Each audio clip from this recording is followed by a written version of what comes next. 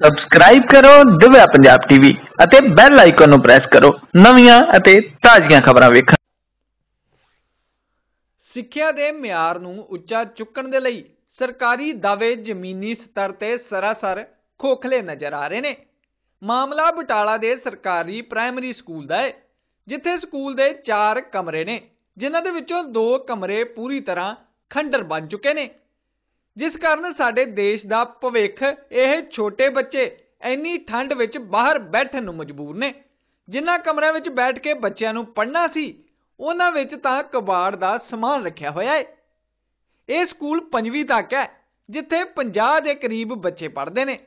ਜਦਕਿ ਦੋ ਰੈਗੂਲਰ ਅਧਿਆਪਕ ਅਤੇ ਇੱਕ ਵਲੰਟੀਅਰ ਅਤੇ ਇੱਕ ਆਂਗਣਵਾੜੀ ਵਰਕਰ ਸਮੇਤ ਕੁੱਲ 4 ਸਟਾਫ ਮੈਂਬਰ ਨੇ। ਸਕੂਲ ਦੀ ਇਮਾਰਤ 1980 ਦੀ ਬਣੀ ਹੋਈ ਹੈ। ਸਕੂਲੀ ਬੱਚਿਆਂ ਦਾ ਕਹਿਣਾ ਹੈ ਕਿ ਇਹਨਾਂ ਕਮਰਿਆਂ ਦੀ ਮਾੜੀ ਹਾਲਤ ਕਰਕੇ ਸਾਨੂੰ ਇੰਨੀ ਠੰਡ ਦੇ ਵਿੱਚ ਬਾਹਰ ਬੈਠਣਾ ਪੈਂਦਾ ਹੈ। ਬੱਚਿਆਂ ਨੇ ਸਰਕਾਰ ਕੋਲੋਂ ਬੇਨਤੀ ਕੀਤੀ ਕਿ ਸਰਕਾਰ ਦੇ ਕਮਰਿਆਂ ਦੀ ਹਾਲਤ ਜਲਦ ਤੋਂ ਜਲਦ ਸੁਧਾਰੀ ਜਾਵੇ। ਉਥੇ ਇਸ ਸੰਬੰਧ ਵਿੱਚ ਇਲਾਕੇ ਦੇ ਐਮਸੀ ਰਾਜਕੁਮਾਰ ਦਾ ਕਹਿਣਾ ਸੀ ਕਿ ਇਹ ਸਕੂਲ ਦੀ ਖਸਤਾ ਹਾਲਤ ਬਾਰੇ ਸਰਕਾਰ ਅਤੇ ਸਿੱਖਿਆ ਵਿਭਾਗ ਨੂੰ ਕਈ ਵਾਰ ਸ਼ਿਕਾਇਤ ਕੀਤੀ ਜਾ ਚੁੱਕੀ ਹੈ ਪਰ ਅਜੇ ਤੱਕ ਕੋਈ ਵੀ ਹੱਲ ਨਹੀਂ ਹੋਇਆ। ਉਹਨਾਂ ਨਾਲ ਹੀ ਕਿਹਾ ਕਿ ਸਕੂਲ ਦੇ ਵਿੱਚ ਇਸ ਕਾਰਨ ਕੋਈ ਵੀ ਹਾਦਸਾ ਹੋ ਸਕਦਾ ਹੈ। ਇਸ ਸੰਬੰਧ ਵਿੱਚ ਸਕੂਲ ਦੀ ਮੁੱਖ ਅਧਿਆਪਕਾ ਜਤਿੰਦਰ ਕੌਰ ਦਾ ਕਹਿਣਾ ਹੈ ਕਿ ਇਹਨਾਂ ਕਮਰਿਆਂ ਦੀ ਖਸਤਾ ਹਾਲਤ ਬਾਰੇ ਸ਼ਿਕਾਇਤ ਕੀਤੀ ਪਰ ਕੋਈ ਹੱਲ ਨਹੀਂ ਹੋਇਆ ਜਿਸ ਕਾਰਨ ਬੱਚਿਆਂ ਨੂੰ ਬਾਹਰ ਠੰਡ ਵਿੱਚ ਹੀ ਬਿਠਾਉਣਾ ਪੈਂਦਾ ਹੈ। ਮੇਰਾ ਨਾਮ ਸਿਮਰਜੀਤ ਕੌਰ ਹੈ। ਮੇਰੇ ਸਕੂਲ ਦਾ ਨਾਮ ਸਰਕਾਰੀ ਪ੍ਰਾਇਮਰੀ ਸਕੂਲ ਫੈਜ਼ਪੁਰ ਹੈ। ਕੁਝ ਨਾ, ਕੁਝ ਕਮਰੇ ਟੁੱਟੇ ਹਨ ਤੇ ਸਾਨੂੰ ਕੋਈ ਪ੍ਰੋ- ਕੋਈ ਪ੍ਰੋਬ ਸਾਨੂੰ ਕੋਈ ਪ੍ਰੋਬਲਮ ਹੈ ਤੇ ਸਾਡੇ ਸਾਡੇ ਪ- ਸਾਡੇ ਸਾਡੇ ਕਮਰੇ ਬਣ ਜਾਣ ਤਾਂ ਸਾਨੂੰ ਪੜ੍ਹਨ ਦੀ ਮੁਸ਼ਕਿਲ ਨਾ ਆਊਗੀ, ਸਾਡੇ ਨਵੇਂ ਡੈਕਸ ਆ ਜਾਣ ਤੇ ਸਾਨੂੰ ਕੋਈ ਮੁਸ਼ਕਿਲ ਹੋਊਗੀ। ਸਾਡੇ, ਮੇਰੇ ਸਕੂਲ ਦਾ ਨਾਮ ਸਰਕਾਰੀ ਪ੍ਰਾਇਮਰੀ ਸਕੂਲ ਫੈਜ਼ਪੁਰ ਹੈ। ਸਾਡੇ ਸਾਡੇ ਸਕੂਲ ਵਿੱਚ ਬਸ ਕਮਰੇ ਬਸ ਟੁੱਟੇ ਹੋਏ ਹਨ, ਇਸ ਕਰਕੇ ਸਾਨੂੰ ਬਾਹਰ ਬੈਠਣਾ ਪੜਦਾ ਹੈ।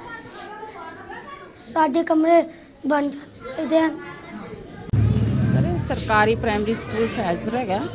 ਫੈਜ਼ਪੁਰ ਮਹੱਲੇ 'ਚ ਸਥਿਤ ਹੈ ਤੇ ਇਹਦੇ ਵਿੱਚ ਦੋ ਕਮਰੇ ਹੈਗੇ ਆ। ਦੋ ਕਮਰੇ ਐਕਸਟਰਾ ਨੇ ਜਿਹੜੇ ਮਤਲਬ ਥੋੜੇ ਸਾਨੂੰ ਖਰਾਬ ਜੇ ਲੱਗਦੇ ਨੇ। ਉਹ ਤਰ੍ਹਾਂ ਸਰਕਾਰ ਉਹਨਾਂ ਨੂੰ ਪਤਾ ਨਹੀਂ ਕਿਸ ਤਰ੍ਹਾਂ ਦੇ ਨੇ। ਤੇ ਮੇਰੇ ਹਿਸਾਬ ਨਾਲ ਸਾਡੇ ਕੋਲ ਪਹਿਲੀ ਤੋਂ ਪੰਜਵੀਂ ਤੱਕ ਜਿਹੜੇ ਆ 46 ਬੱਚੇ ਨੇ। 17 ਪ੍ਰੀ ਪ੍ਰਾਇਮਰੀ ਦੇ ਬੱਚੇ ਨੇ ਤੇ ਕਮਰੇ ਥੋੜੇ ਸਾਈਜ਼ ਜਿਹੜੇ ਸਾਡੇ ਕੋਲ ਹੈਗੇ ਆ, ਬੈਠਣ ਯੋਗ ਉਹਨਾਂ ਦਾ ਸਾਈਜ਼ ਥੋੜਾ ਘੱਟ ਹੈਗਾ ਤੇ ਬੱਚੇ ਐਡਜਸਟ ਕਰਨੇ ਥੋੜੇ ਔਖੇ ਆ। ਤੇ ਠੰਡ 'ਚ ਜਾਂ ਗਰਮੀ 'ਚ ਮੁਸ਼ਕਲ ਆਉਂਦੀ ਬੱਚੇ ਸਰ ਕੈਟਾਗਰੀ ਤੇ ਮਤਲਬ ਥੋੜੇ ਜਿਹੜੇ ਇਨਕਮ ਘੱਟ ਹੁੰਦੀ ਆ, ਉਹ ਮਾੜੇ ਪਰਿਵਾਰ ਦੇ ਬੱਚੇ ਹੈਗੇ ਨੇ। ਤੇ ਜਿਹੜੇ ਮਤਲਬ ਬਹੁਤੇ ਵਧੀਆ ਸਕੂਲਾਂ 'ਚ ਨਹੀਂ ਪੜ੍ਹਾ ਸਕਦੇ ਨੇ। ਸਰ ਮਤਲਬ ਇਹ ਅਸੀਂ 5-6 ਮਹੀਨੇ ਹੋ ਗਏ ਆ ਅਸੀਂ ਮਤਲਬ ਅਮ, ਆਪਣੇ ਮਹਿਕਮੇ ਨੂੰ ਦੱਸਿਆ ਹੈ ਤੇ ਉਹਨਾਂ ਨੇ ਫਿਰ ਅੱਗੋਂ ਕਿਹਾ ਵੀ ਪੀਡਬਲਯੂਡੀ ਵਾਲੇ ਮਹਿਕਮੇ ਉਹਨਾਂ ਨੂੰ ਦੱਸਿਆ ਉਹ ਵੇਖ ਗਏ ਨੇ ਕਮਰੇ, ਤੇ ਅੱਗੋਂ ਹੁਣ ਵੇਖੋ, ਕਹਿੰਦੇ ਵੀ ਅਨਸੇਫ ਦਾ ਦੇਣਗੇ ਸਰਟੀਫਿਕੇਟ ਤੇ ਅੱਗੋਂ ਚਲੋ ਕੋਈ ਮਸਲਾ ਹੱਲ ਹੋ ਜਾ ਹਾਂਜੀ ਸਰ, ਫਿਰ ਕਰਨਾ ਤਾਂ ਪੈਂਦਾ ਹੀ ਐਡਜਸਟ ਥੋੜਾ ਬਹੁਤਾ।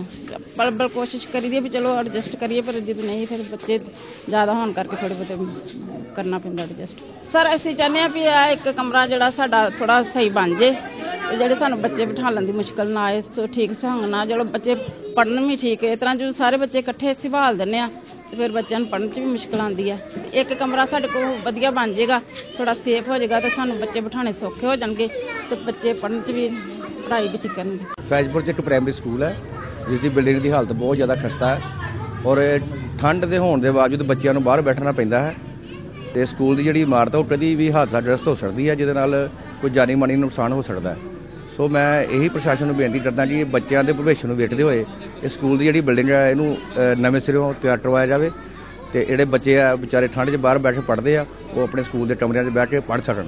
ਔਰ ਬਿਲਡਿੰਗ ਦੀ ਹਾਲਤ ਇੰਨੀ ਖਸਤਾ ਹੈ ਕਿ ਕਦੋਂ ਵੀ ਹਾਦਸਾ ਗ੍ਰਸਤ ਹੋ ਸਕਦਾ, ਕੋਈ ਜਾਨੀ ਮਾਨੀ ਬੱਚੇ ਦਾ ਨੁਕਸਾਨ ਹੋ ਸਕਦਾ। ਬਟਾਲਾ ਤੋਂ ਰਿੰਕੂ ਰਾਜਾ ਦੀ ਰਿਪੋਰਟ, ਦਿਵਿਆ ਪੰਜਾਬ ਟੀਵੀ।